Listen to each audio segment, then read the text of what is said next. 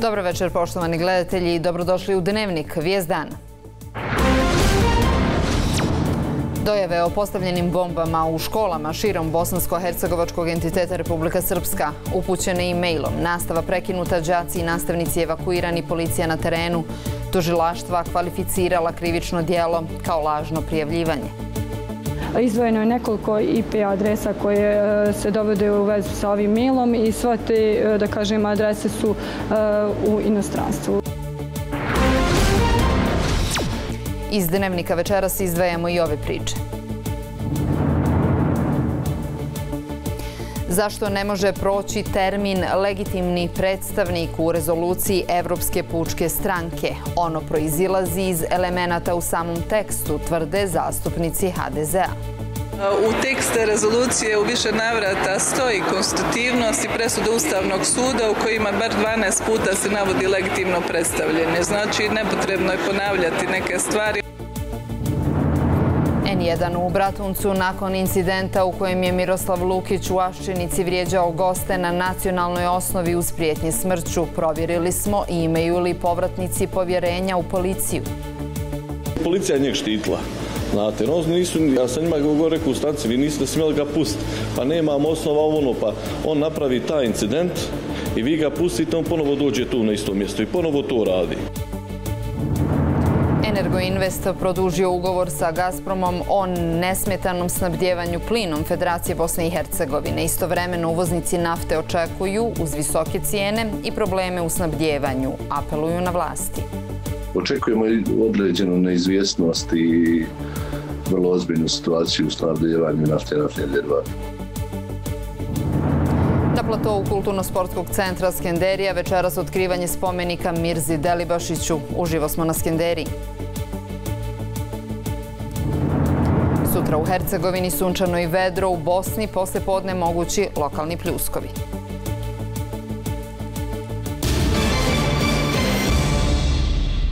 Ponovno dojave o postavljenim bombama u Bosni i Hercegovini. 429 srednjih i osnovnih škola u Republici Srpskoj prijavilo je da su dobili prijeteći mail o postavljenim eksplozivnim napravama u školskim objektima. Poruka koja je pratila ovaj mail e, alarmirala je Ministarstvo unutrašnjih poslova koje je odmah počelo sa kontradiverzionim pregledima. U većini škola KDZ je pokazao da su dojave bile lažne, a istovremeno se provodi istraga kako bi se identificirala osoba koja je poslala prijeteći mail. Tokom dana prijeteći mail poslan je i policijskim upravama kantona Sarajevo, ali i u osnovnoj školi u Travniku.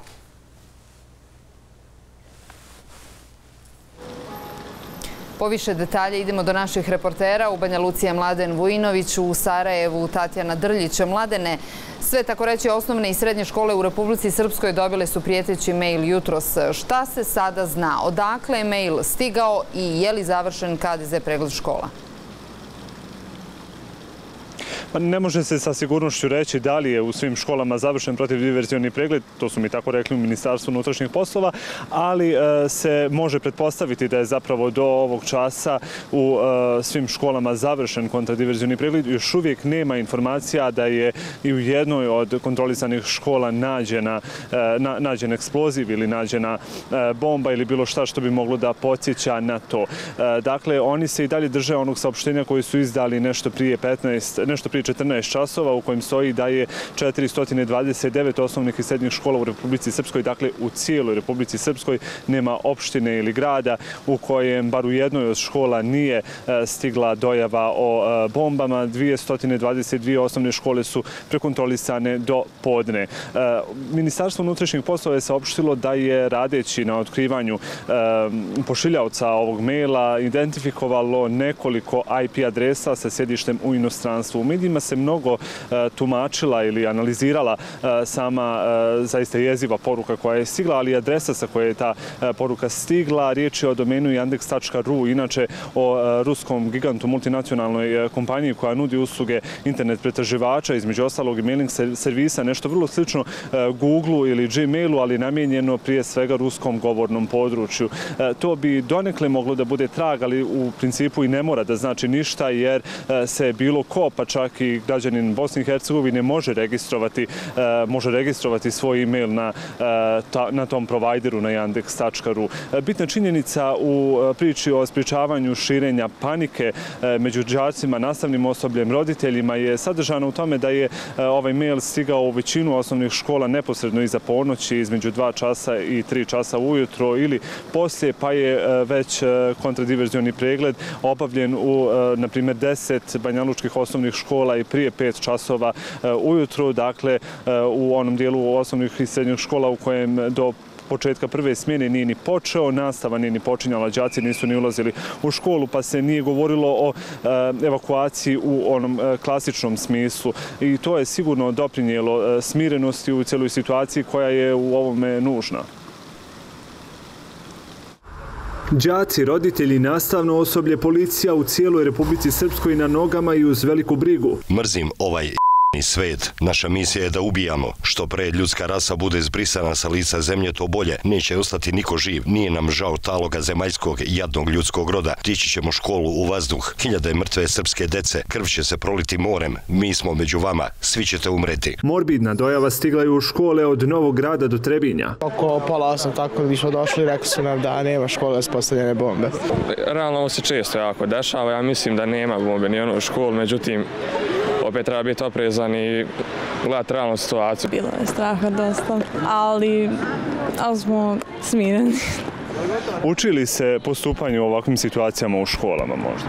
E, pa nismo u zadnje vrijeme spominjali, ali znamo što trebamo učiniti kad dođe do ovakvih situacija. Najvažnije je biti smiren i pratiti uputstva policije. Upravo postupajući po uputstvu, profesor Radomir Cvić učenike je izveo iz škole u park. Nezgoda u ovom slučaju je što se mešaju neke stvari. Neke stvari koje mogu da budu jako ozbiljne sa nekim stvarima koje su, ajde da kažem, učenička šala jer znate da je kraj školske godine zaključivanje ocjena, pa onda tu zna da bude i takvih. Ali sve takve stvari gde je život u pitanju treba stvarno prihvatiti ozbiljno. I zato u svim školama da bi se džaci vratili mora biti obavljen kontradiverzioni pregled do podne završen u 222 od 429 škola na čije adrese stigla dojava o bombi. Nije ovo kad čitate ni malo bezazleno. I naravno da se ljudi boje i mislim da je to ovdje cilj unošena nemira i sijanje straha. Policija je identifikovala nekoliko IP adresa iz inostranstva. Činjenica da je mail stigao sa ruskog provajdera može biti trag, ali i zamka čak i ako jesu, bilo gdje ne znači da je to lice koje je poslalo, poslalo preko to, da kažem, iz te lokacije, već da samo koristilo taj server. Dok se čekaju rezultati istrage, stižu i kvalifikacije tužilaštava koja dijelo vide kao lažno prijavljivanje krivičnog dijela. Stručnjaci kažu situacije poput današnje pokazuju određene manjkavosti u sistemu. Ono što bi se moglo raditi, što bi moglo biti jedno adekvatno rješenje da se da bude dio sistemskog rješenja da se naprave tačne procedure kako postupati u ovim situacijama s obzirom da bi to mnogo olakšalo situaciju da se zna ko šta radi. Tako bi reakcija bila brža, a strah manji. Tome je u ovom slučaju doprinjela činjenica da je mail stigao noćas pa su u brojnim školama kontrole izvršene prije nego što su u njih stigli nastavnici i učenici. Nije sve jedno, strah uvijek e, postoji. E, možda nekom izgleda kao šala, ali uopšte nije. Ove stvari nisu za e, zezanje i uvijek im se mora maksimalno oprezno prići i hladne glave. Ali ljudi su jako brzo ovaj, obavili svoj posao i konstatovali da je sve u redu. U svakom slučaju djeca nisu bila tu i kolege. Pa uglavnom nije bilo ni panike. Građanima su dojave o bombama jedna od prvih tema uz koju ide i pitanje osjećaju bezbjednosti. Čista provala. Ne znam ni ko to radi.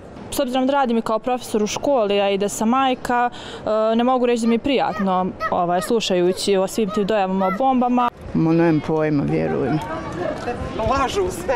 Kako god školska godina se bliže kraju, pa dan bez nastave i ne znači veliku štetu. Ipak oni koji je nisu imali morat će nadoknaditi osim maturanata u osnovnim školama, kojima je ovo svakako bio posljednji dan u školi, pa su svemu pristupili uz narodnu udri brigu na veselje.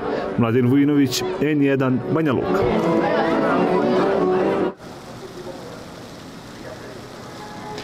Dakle, riječ je o nečemu što je slično već viđeno u e, Sarajevskom kantonu u Srbiji, ali e, bitno je drugačija kvalifikacija ovog krivičnog dijela od strane tužilaštva. To je ono što je iznenadilo policijske krugove. Naime, tužilaštva su dijelo uglavnom kvalifikovala kao krivično dijelo lažno prijavljivanje krivičnog dijela ili, na primjer, kao e, okružno javno tužilaštvo u Banja Luci. Uz tu kvalifikaciju dodalo je i kvalifikaciju ugrožavanje bezbjednosti. Za obe ove kvalifikacije je način postupanja E, propisane kazne značajno su kraće. Na primjer, za e, krivično dijelo lažno prijavljivanje krivičnog dijela e, sljeduje novčana kazna ili kazna zatvora do šest mjeseci za krivično dijelo ugrožavanja bezbjednosti kazna zatvora do dvije godine. Dakle, policija se pita zbog čega tužilaštva nisu karakterisala ovo krivično dijelo kao krivično dijelo terorizam, što je bio slučaj, na primjer, u Federaciji Bosne i Hercegovine ili u Srbiji, no ipak dobio sam uvjerenja od određenih tužilaštava da je riječ o preliminarnoj kvalifikaciji, što znači da bi ona mogla da bude izmijenjena. Da, pratit ćemo i dalje e, dakle, e, istragu. E, hvala ti, Mladene. Tatjana, evo čuli smo prijetnje danas bilo i u Federaciji Bosne i Hercegovine. Ovoga puta od prijetnje nije izuzeta niti policija i to u kantonu Sarajevo. Šta su poručili u MUP-u kantona Sarajevo i imali više detalja o prijetnjama u Travniku koje su stigle sa drugačije mail adrese u odnosu na one u Republici Srpskoj?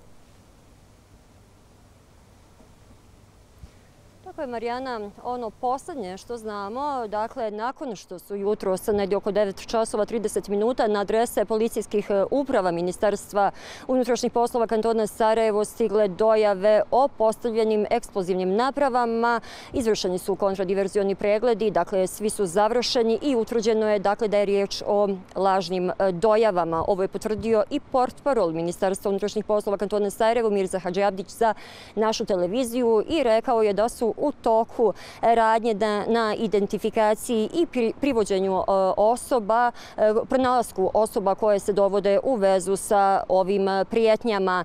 E, naravno, više informacija imat ćemo nešto kasnije, narednih dana, čak i o tome ćemo blagovremeno izvještavati.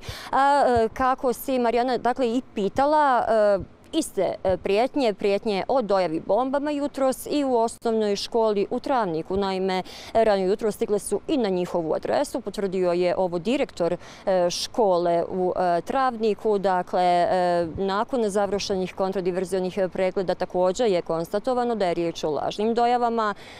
Učenici prve smjene su evakuisani, dok su učenici druge smjene neometano se vratili izvođenju nastave prema planu i rasporedu. Prema planu će večeras i maturanti devetih eh, razreda također proslaviti eh, maturu. Međutim, bez obzira na to što se radi o lažnim dojavama, ovo nikako ne umanjuje značaj eh, ovakvih situacija i ne umanjuje strah kod građana, barem onih sa kojima smo danas imali priliku da razgovaramo. Jesam, Boga mi. Šta da kažem, svi smo, je tako? Nemam riječ, stvarno. Šta se dešava? Pa, mislim, vjerovatno nisi direktno onaj, prisutan, pa možda manje opasnost doživljavaš, ali vjerovatno treba razmotriti svaku situaciju, treba izbjeći rizik. Znači, šta drugo da vam kažem, treba se paziti. S obzirom da sam upravo nastavnica u jednoj sarajevskoj školi, je za vas uhvati kad onako morate djecu brzinski iz razreda ovaj, isprati do škole. Naravno da strahujem, majka sam, imam dijete, sa djecom sam svaki dan ovaj, i zaista nije jednostavno kad vam jave da ovaj, je navodno negdje u školi ta neka naprava, a još gore i osjećaj bude kad se na kraju uspostavi da je zapravo sve jedna velika laž. A osjećaju li djeca strah? Pa oni osjete nešto, ovaj, nešto se dešava, negdje je nešto, neko je nešto javio, ali vidite vi u njihovim očima, po njihovom ponašanju, izrazima lica, čitate jednostavno da je strah prisutan i, i, i da im nije lako. Tatjana, i ranije su stručnjaci govorili o ovakvom vidu prijetnji. Iako se ispostavi da su dojave lažne, oprez mora postojati. Koja je njihova poruka danas? Tako je, naravno. E, bez obzira na to što su dojave lažne, stručnjaci bezbjednosti upozoravaju na to dakle, da se treba posvetiti svakoj prijetnji e, detaljno e, istražiti o čemu se radi. Međutim, kako kažu, nije to posao samo policije, to je posao i sociologa, psihologa, e, čak i poslovnih e, psihologa koji se veoma često zanemaruju, kažu nam stručnjaci sa kojima smo razgovarali, jer je šteta već učinjena. Dakle, šteta je velika. Nije dovoljno samo da su dojave lažne, jer svi oni koji imaju namjeru da ugroze stabilnost Bosne i Hercegovine, to su učinili samim prijetnjama, samim mailovima koji su stizale na adresu kako škola, tako i e, drugih e, javnih ustanova u e, Bosni i Hercegovini. Dakle, sve je to ono na što treba obratiti pažnju i na neki način u saradnji sa policijskim organima uticati na to da ovaj strah kod građana bude nekako sveden na nulu, jer vidjeli smo zaista da se posljednjih dana, odnosno da su dojave o bombama učestale posljednjih eh, dana širom eh, Bosne i eh, Hercegovine. Naravno, treba još obratiti pažnju i na to da li se radi o uticaju, odnosno o mogućim prijetnjama, ruskim prijetnjama, odnosno hakerskom napadu na Bosnu i Hercegovinu. Da li je to sve samo uvod, objasnili su nam i stručnjaci. Ovdje nije samo pogođena, e, ovdje kažem, e, lažna dojava. Jeste ono lažna dojava, nije ništa puklo, ali puca, kažem, opet puca u ljudima, ljudi su preplašeni i stvara se jedan osjećaj nesigurnosti. Naravno, taj osjećaj nesigurnosti stvaraju razno razne, bit ću slobodan da kažem, kuhinje.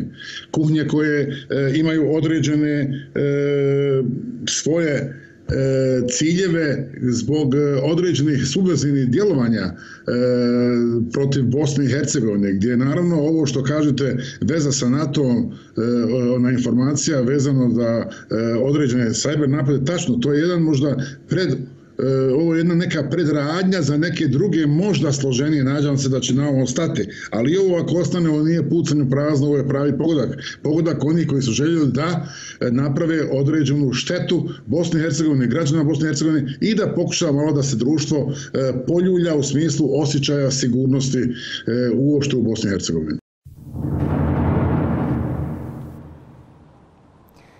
Čekamo poslednju riječ policijskih organa, odnosno e, konačan tok e, istrage, šta će ona pokazati. Vrijedi podsjetiti još jedan put da dojave o, lažne dojave o bombama su već neko vrijeme prisutne u Bosni i Hercegovini. Dakle, posjećamo prije samo nekoliko dana e, u oko 110 osnovnih istradnjih škola kantona Sarajevo također su poslate prijetnje o eksplozivnim napravama u školama, a nešto prije toga su također poslate i na beogradski adres, odnosno adrese Beogradske škola, ali i tržnih centara i sl. E, naravno, mi ćemo svakako pratiti e, istražne radnje policijskih organa i o tome blagovremeno izvještavati. Bila je ovo uživo iz Sarajeva Tatjana Drljić. Nešto ranije, Mladen Vojinović javio se iz Banja Luke. U nastavku dnevnika ne propustite. Hrvatska spremna za uvođenje eura, ispunjeni svi kriteriji za ulazak u eurozonu 1. januara 2023. Vijest je objavljena za vrijeme posjete Andreja Plenkovića, njemačkom kancelaru Olafu Šolcu. Usvojena je rezolucija Evropske pučke stranke o Zapadnom Balkanu. Veliki dio odnosi se na Bosnu i Hercegovinu, a dvojako se tumači i to da je iz rezolucije izbačeno takozvano legitimno predstavljanje u Bosni i Hercegovini. Predsjednik HDZ-a Bosne i Hercegovine smatra kako odluku drugačije tumače oni poput SDA, koji kažu kako je HDZ na kongresu doživio poraz. Iz Rotterdama izvještava Nikola Radišić. Rezolucija Evropske narodne partije u Bosni i Hercegovini usvojena na samom kraju dvodnevnog kongresa ove političke grupacije ističe potrebu za očuvanjem bezbednostne situacije u Bosni i Hercegovini i na samom Balkanu, ističući da je on od velike strateške važnosti za celu Evropu. EPP žali zbog izostanka reformi u Bosni i Hercegovini i poziva na rešavanje 14 prioriteta koje je precizirala Evropska komisija. Posebno ukazuju na potrebe izborne i ustavne reforme. EPP u rezoluciji rezoluciji osuđuje ugrožavanje suvereniteta Bosne i Hercegovine i poziva da se prestane sa tim, ali i sa blokadom institucija. Kontroverzu rezoluciji izvala informacija da je iz nje izbačen jedan deo koji govori o legitimnom predstavljanju, na čemu je navodno insistirao HDZ. E, mi smo imali jedan široki dokument, to je bila taktika predlaganja rezolucije znajući. Kad imamo tako širok dokument da će neko reagirati i pokušati.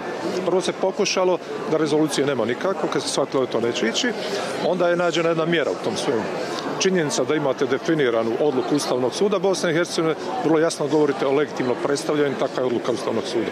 E naravno, svaki uzeo iz te odluke što mu odgovara. Bošnjačka strana i Lezda zahvaljuje svojim prijateljima što su razumijeli njihov stav, pa su to sinoć proglasili, ne znam, porazom HDZ-a, predlagača i tako dalje. Mi mislimo da smo dobili jednu dosta uravnoteženu rezoluciju koja je očuvala pažnju EPP oko toga, a u njoj je sve ono što je trebalo u ovom trenutku poziciji Hrvatskog naroda. Tu su sve one, one ključni termini koji su zapravo jedna derivacija iz već jednog postojećeg dokumenta koji je usvojen znači, na političkoj skupštini na stranicama 9 i 10 koji je opširno, koji tamo govori konkretno konstitutivnost Srba, Hrvata i Bošnjaka. Znači ovdje govorimo o potrebi, e, o potrebi e, promjeni, znači ustavnih promjena, izbornog zakona, ovdje se spominje jednakopravnost, konstitutivnost, nužnost implementacije e, sudova i međunarodnih sudova i ustavnog suda kažem, sve tri te komponente su uključene. Vodevni kongres Evropske narodne partije poslužio je da se izabere novo rukovodstvo na čelu sa Manfredom Weberom, odrede buduće smernice rade i usvoji više rezolucija. Kroz ceo kongres EPP-a provlačila se osnovna tema, to je rat u Ukrajini, uz napomenu da je odbrana Ukrajine istovremeno i odbrana Evrope, evropskih vrednosti, evropske demokratije i evropske sigurnosti. Nikola Radišić, N1, Rotterdam. Hitna rezolucija o izbornoj reformi u Bosni i Hercegovini, koju je jučer usvojio Kongres Evropske pučke stranke, a iz koje je izbačen HDZ-ov prijedlog o takozvanom legitimnom predstavljanju, velika je pobjeda državotvorne i evropske politike stranke demokratske akcije, saopćeno iz SDA. Dodaju da je jučerašnja rezolucija EPP-a ohrabrujući signal čvrstom suprotstavljanju SDA secesionističkim i separatističkim politikama, čije ideje su jučer odbačene. Prisutno Prisustvo predsjednika SDA Bakira Izetbegovića na 27. kongresu vodeće evropske političke snage, njegovi susreti sa najvažnijim evropskim političkim zvaničnicima i mjesto koje SDA ima među evropskim demokratama, najbolja su potvrda čvrstog evropskog kursa stranke demokratske akcije, navode između ostalog iz ove stranke. Pučani su sinoć osudili i dovođenje u pitanje teritorijalnog integriteta i suvereniteta zemlje i bilo kakvo neustavno secesionističko djelovanje te su pozvali na prekid blokade institucija. Član predsjedništva Bosne i Hercegovine Milorad Dodik rezoluciju Evropske pučke stranke nazvao je neobavezujućom, ali simptomatičnom zbog toga što, kako je napisao Dodik, podržavaju politiku muslimanske SDA, jer poruke koje dolaze su iste. To bi bilo isto kao da nam kaže kažu da su za nas obavezujući stavovi SDA, napisao je predsjednik SNSD-a na zvaničnom Twitter nalogu. Zato je Dodik zatražio održavanje posebne sjednice Narodne skupštine Republike Srpske u popodnevnim satima. Zasjedao je kolegi ovog tijela. Donesena je odluka da se posebna sjednica održi u ponedjeljak i to pod nazivom Razmatranje informacije o međunarodnoj, političkoj i sigurnosnoj situaciji, mjesto i uloga Republike Srpske. Premijer Hrvatske Andrej Plenković u radnoj posjeti Berlinu razgovarao je sa njemačkim kancelarom Olafom Šolcom. Susret prati Katarina Brečić. Katarina, je li poznato o čemu su Plenković i Šolc razgovarali i koje teme su bile u fokusu?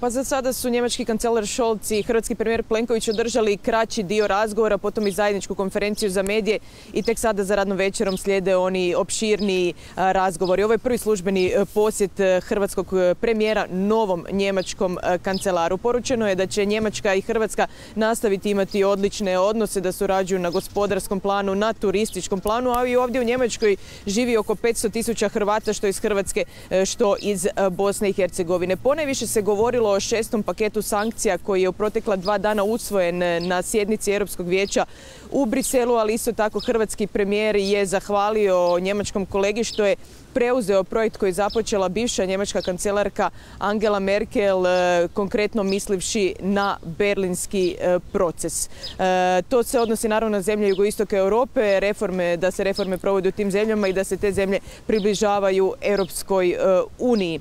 Što se tiče same Bosne i Hercegovine, njemački kancelar Scholz nije izrekom spomenuo, no jest hrvatski premijer Plenković i on je poručio da eh, očekuje da se nastavi eh, provoditi eh, politika sukladno Pariško-Dejtonskom sporazumu isto tako poručio da hrvatske političke stranke su najavile da će sudjelovati u nadolazećim izborima. To je u principu to što se tiče Bosne i Hercegovine. Razgovarala se naravno u drugom nizu tema o samoj agresiji Rusije na Ukrajinu i svim posljedicama koje to ima na čitavu Europu i šire.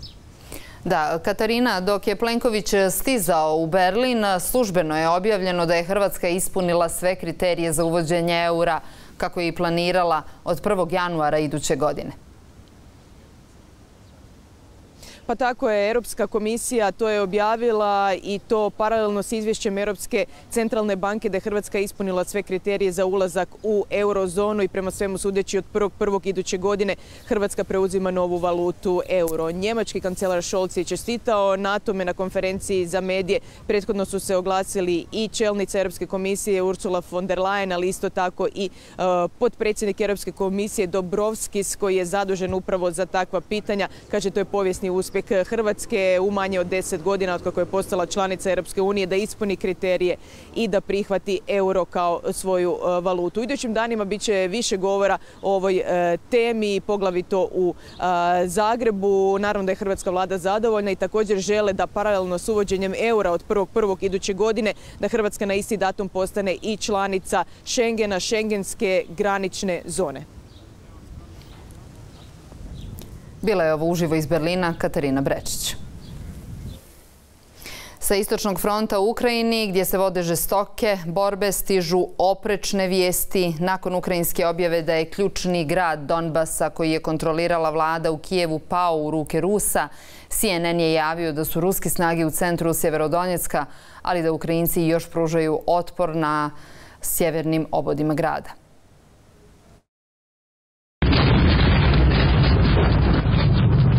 Ukrajinski predsjednik kritikovao je Moskvu zbog granatiranja hemijske fabrike u Severnodonjecku. Stanovnici su upozoreni da ne napuštaju skloništa i da pripreme maske za zaštitu od toksičnih isparenja. Borbe i neprestana granatiranje događaju se danas u celom regionu Donjecka. Ukrajinske oružane snage izdržavaju pritisak okupatora u Zaporoškoj oblasti. Na ovom širokom frontu naše branioce pokazuju najveću hrabrost i ostaju gospodari situacije uprkos činjenici da ruska vojska ima značajnu prednost u opremljenosti i brojnosti. Posle dužeg oklevanja i prvobitnog odbijanja, američki predsjednik obećao je da će Ukrajini u okviru paketa pomoći teškog 700 miliona dolara poslati napredne sisteme raketne artiljerije. Cilj Amerike je da vidimo demokratsku, nezavisnu, suverenu i prosperitetnu Ukrajinu sa oružjem koji može da odvrati neprijatelja i da se odbrani. Nova isporuka oružja će omogućiti Ukrajini da preciznije gađa ključne ciljeve na frontu. Biden je rekao da Washington ne ohrabruje Ukrajinu da oružje upotrebi van svojih granica, odnosno da granatira Rusiju. Iako u Kijevu obećavaju da novo oružje neće iskoristiti za raketiranje ruskih gradova, u Kremlju odluku Sjedinjenih država oštro kritikuju. Tu nema ništa novo. Verujemo da Sjedinjene američke države namerno i marljivo dolivaju ulje na vatru. SAD se zaista drže kursa borbe s Rusijom do poslednjeg Ukrajinca. Sastanak ruskog i ukrajinskog predsjednika nije isključen, ali on treba da bude pripremljen i finalizovan dokumentom na kome je rad zaustavljen, dodao je Peskov. A iz Moskve upozoravaju da rat može i da se proširi. Taki riski, конечно же, существуют. Ozbiljne zemlje Evropske unije savršeno razumeju da je ovaj scenario neprihvatljiv. Čuli smo i razumne ocene iz Vašingtona. Oni savršeno dobro znaju našu poziciju. Danas se u Ukrajini obeležava Dan deteta. Više od 240 dece poginulo je do sada u ratu, kažu ukrajinski zvaničnici. Stradalo je i 32 novinara. Vladan Alimpijević, N1.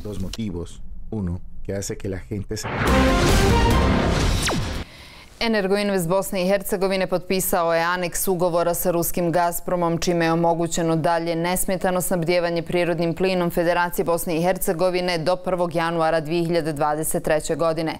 Tada je planirano potpisivanje novog aneksa ugovora i nastavak isporuke plina. Osnovni ugovor je potpisan na uobičajeni način što podrazumijeva da će se cijena za isporučeni plin korigovati kao i do sada, kvartalno, isključivo na bazi devetomjesečne promjene cijena naftnih naftnih derivata, navodi se u saopćenju iz Energoinvesta. Stručnjak za energetiku Almir Bečarević za N1 je kazao da aneks ugovora koji je Energoinvest potpisao sa Gazpromom donosi više pitanja nego odgovora. Jedno od tih pitanja je i hoće li Sarajevo tokom zime imati dovoljno plina. Ako su zakupljeni dnevne količine kao prošle godine, Sarajevu će nedostajati gasa tu nema dileme. Jer, pro, jer prošle sezone grijanja toplane su prelazile na mazut. Znači, milion i dvijesto hiljada kubika je nedovoljno za federaciju po pitanju dnevnih količina. I drugi segment je o taj da li je uopće zaključeno za milion i dvijesto ili manje. Ja imam informacije da je to zakupljeno manje. Znači, bilo bi dobro da Energinvest obavijesti da li je makar i milion i dvijesto. I treći problem je problem cijene o kojem šute, a znači, evo, odgovorno vam tvrdim, za treći kvartal ide novo povećanje cijene i U Bosni i Hercegovini uvoznici apeliraju da se smanje porezi na uvoz iz zemalja koje su alternativa za snabljevanje naftom iz Rusije, no odgovora vlasodržaca nema. Uz visoke cijene goriva u perspektivi se očekuju problemi u snabdjevanju. Naftni embargo za sada se odnosi samo na rusku naftu koja stiže brodovima, dok su naftovodi izuzeti, a zemlje Evropske unije spremaju se za alternativne pravce snabdjevanja. Sada evo, imamo informacije iz arapskih zemalja dakle, ovaj, da se eh, doprema nafta, da se traže alternative, da su već pronađene strateške i slično, što znači možda će uspjeti u kratkom roku, u roku od par mjeseci, izvršiti tu transformaciju četiri su pravca snabdjevanja sirovom naftom u Bosni i Hercegovini. Nafta dolazi iz rafinerija u rijeci iz Hrvatske, Pančeva iz Srbije, iz Slovenije, Mađarske i sa Sicilije u Italiji. U Bosni i Hercegovini se prerađuju rafinerijama nafte u Brodu i u Modriči.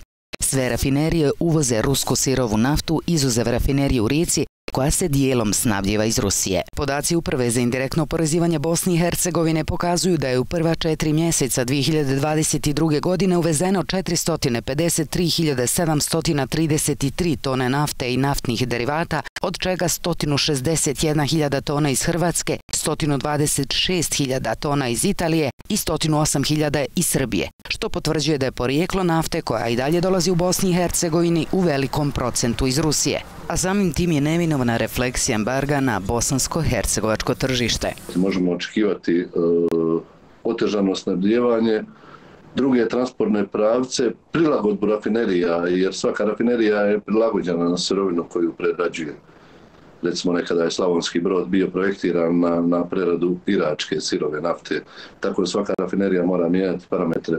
Očekujemo i određenu neizvjesnost i vrlo ozbiljnu situaciju u stavljivanju nafte i naftne derivata.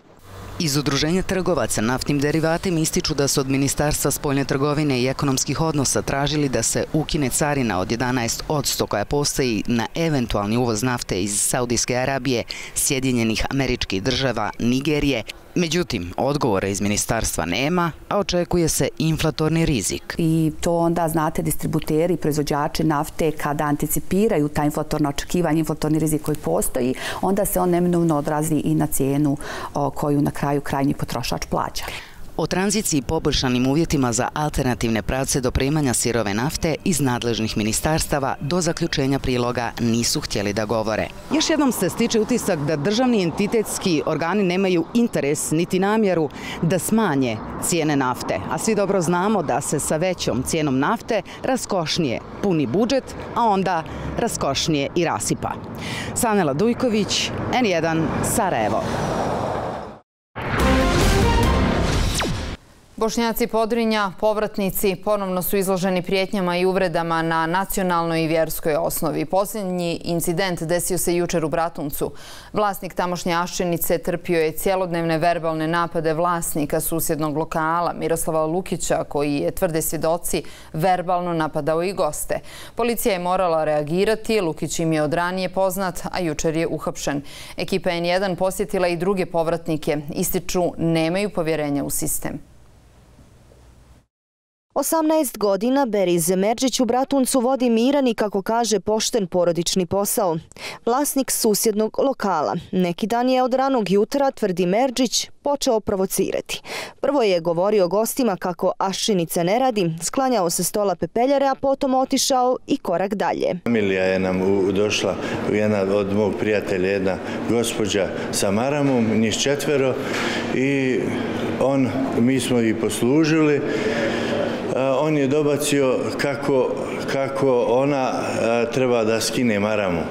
Naručivo od mene eh, četiri bureka svinska. Beriz je odlučio pozvati braću. Jedan od njih, Enis, kaže ovo nije prvi put da doživljavaju neugodnosti od vlasnika susjednog lokala nazvanog tamo daleko, iz kojeg se tvrde Merđići, nerijetko mogu čuti nacionalističke pjesme. Policija je njeg štitila. Znate, on nisu, ja sam njima govorio rekao u stanci, vi niste smjeli ga pustiti. Pa nemam osnova ono, pa on napravi taj incident i vi ga pustite, on ponovo dođe tu na isto mjesto i ponovo to radi. Tužilaštvo je upoznato, tužilac, uputili smo krivičnu prijavu prijetnje smrću. Na upit N1 policija saopštava kako je jučer nešto iza 16 sati uhapsila osobu inicijala ML iz Bratunca. Razlog narušavanja javnog reda i mira u jednom bratunačkom ugostiteljskom objektu, a potom i zbog prijetnji po život koje je ML uputio. Imamo organe, imamo institucije koji vjerujemo u naše institucije Bosne i Hercegovine, a i sve one koji koji su okrenuti ka pravdi, ka i pomerenju i lijepim odnosima. S komšijama, kaže Merčić, inače nema problema. Tek s pojedincima. Jedan bratunčanin posebno je bio uporan da kaže kako nacionalne tenzije niko ne želi samo pojedinci, ali nisu svi isti. Ima i među muslimanima i hrvatima i ovo. Kogod nema sreće u životu, on diže nacionalne tenzije. Država, državu poštovati i ustav treba poštovati. Kakva je, takva je, mi smo ostali tu, gdje smo, tu smo. A odgovor institucija čekaju i u Novoj Kasabi. Još je nejasno šta se tačno dogodilo prije nekoliko dana u srednjoj školi Milutin Milanković u Milićima. Roditelji pretučenog učenika koje smo posjetili danas u Novoj Kasabi nisu htjeli pred kameru jer kažu do danas im nisu e, poznati detalji, motiv, ali i okolnosti pod kojima je njihov sin zadobio teže povrede vilice zbog kojih je već jednom bio na operaciji, a ljekari ga pripremaju za nove operacije u bolnici u Bijeljini. Neovisno o slučaju pretučenog učenika Alije iz Nove Kasabe, o odnosima u Miličkoj srednjoj školi za N1 jedan je govorila bivša učenica Mitheta Hadžić, također iz Kasabe. Nakon vršnjačkog i verbalnog nasilja bila je prinuđena da se ispiše. Tipa rečenice e, kako to oni nazivaju, balije, ne mogu, bali, za balije u ovom autobusu nema mjesta. Imala sam profesora srpskog jezika e, koji na mojoj sesije u mojoj svestima da piše šta ja želim. E, napisala sam sveska iz bosanskog jezika, on je meni tu sa takvom mržnjom uzao hemsku i švara i napisao ti su u srpskoj školi, ti učiš srpski jezik. Bili smo ispred škole, no za reakciju nismo mogli pitati. Škola pusta, ni učenika, ni uprave, zbog ranijih dojava o bombama. Na koncu, opet je sve u rukama policijskih službenika i nadležnih tužilaštava, u koje uprko svemu i dalje mnogi vjeruju, jer je to jedina ispravna opcija. Adisa Imamović, N1, Bratunac. Na šehidskom mezariju Memorialnog centra Gornja Kalesija klanjana je 24. kolektivna dženaza za žrtve zločina u zvorniku počinjenih 1992. godine. Ukopani su posmrtni ostaci tri osobe, a i dalje se traga za još više od 440 žrtava. Ferida je danas ukopala trećinu lobanje brata Vehida. Imao je 25 godina i radio je u Leskovcu, te je vraćen u zvornik. Odvajali su i na mostu po dokumentima.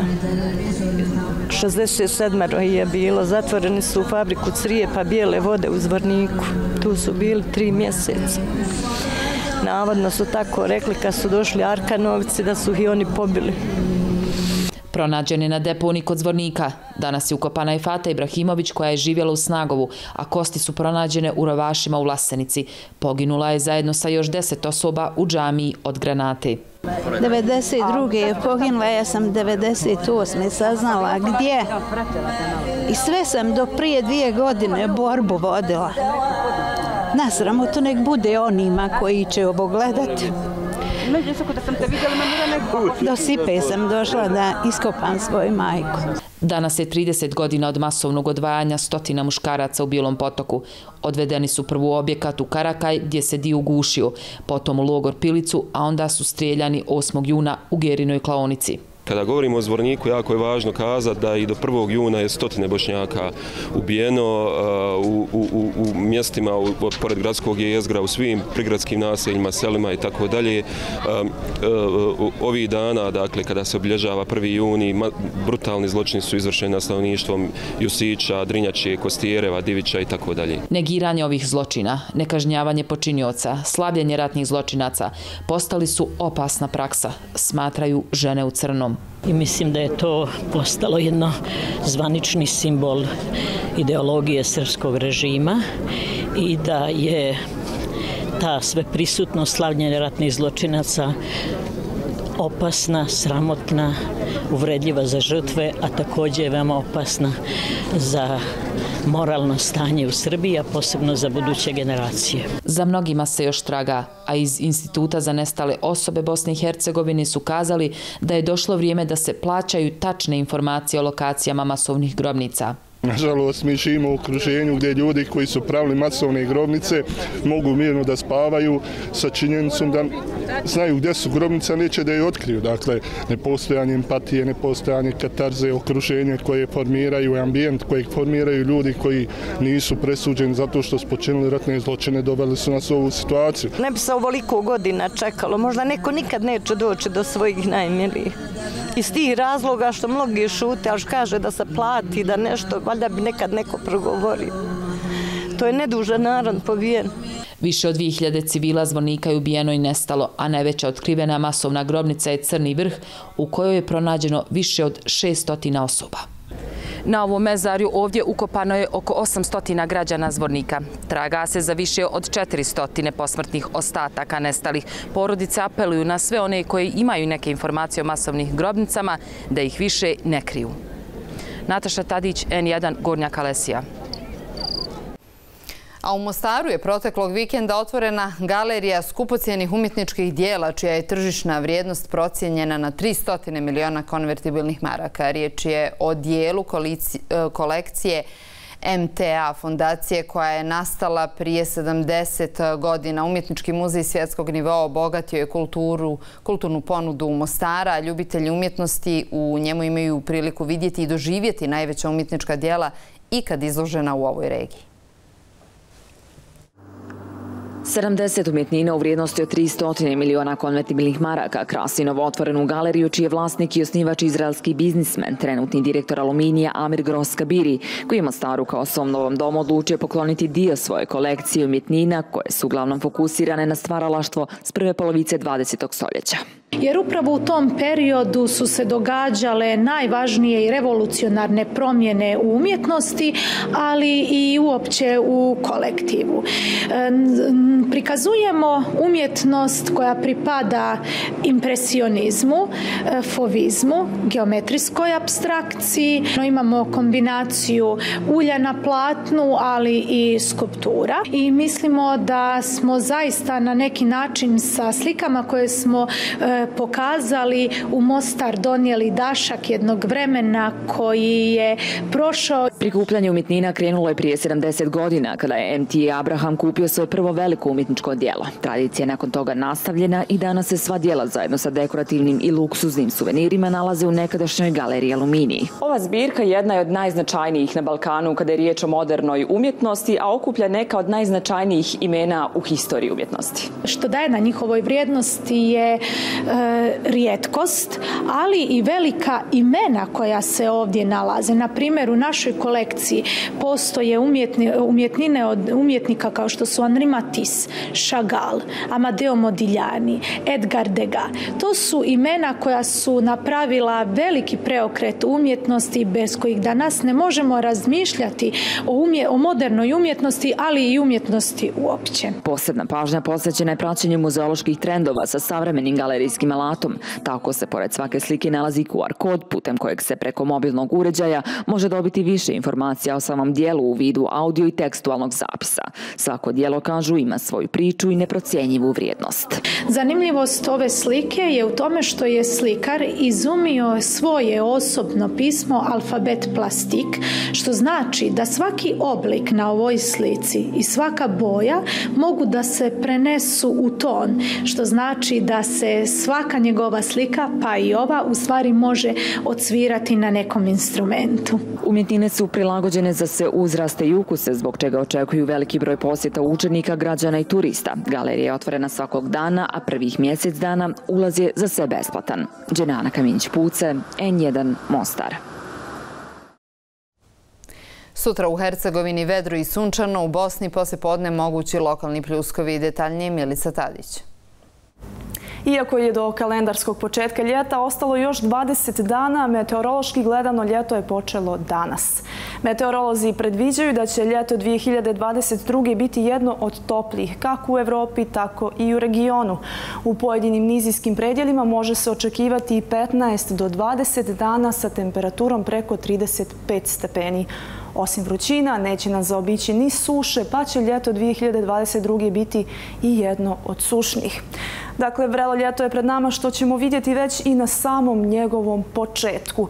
U noći pred nama očekuje nas vedro nebo, dok će pred zoru biti magle, naročito po dolinama i kotlinama centralne Bosne. Nakon njenog podizanja u prijepodnevnim satima, nastavak dana biće pretežno sunčan u cijeloj zemlji. Minimalna temperatura u noći pred nama spustit će se na vrijednosti od 12 do 17 stepeni. Najviša dnevna sutra kretaće se između 28 i čak 34 stepena. Duvaće slab vjetar promjenjivog smjera. Vruće i sparno bit će i narednih dana. Temperatura se u većini predjela neće spuštati ispod 30. podjeljka. Preovladavaće sunčano vrijeme, a nešto više oblaka na nebu uz moguće prolazne pljuskove prognozira se za subotu. Toliko u vremenskoj prognozi. Želim vam prijatno večer. Pratili ste Dnevnik u 20 sati, slijedi N1 direktno sa Ivanom Momčilović-Odobašić. Šta Srbija očekuje od starog novog predsjednika, koji ga izazovi čekaju kod kuće, a koji u vanjskoj politici igrali i dalje u istom timu ili vladu planira sa novim partnerima? Dolazi li vrijeme za naplatu obećanog, kako tvrdi opozicija u Srbiji ili Srbija nastavlja politiku neutralnog igrača u svjetskoj geopolitici, kako tvrdi vlast te zemlje? Aktualnosti imate i na n1info.com. Hvala za pažnju i doviđenje.